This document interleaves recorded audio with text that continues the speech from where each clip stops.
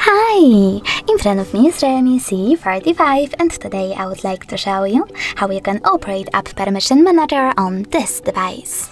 You need to start by going into settings. Now scroll down, choose apps and notifications over here, click on permission manager and select one of your device's features, like location.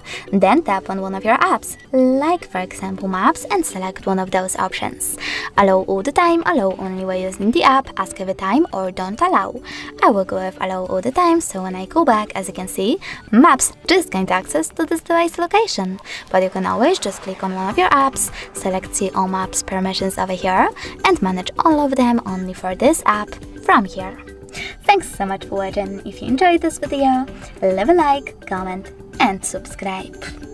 Bye!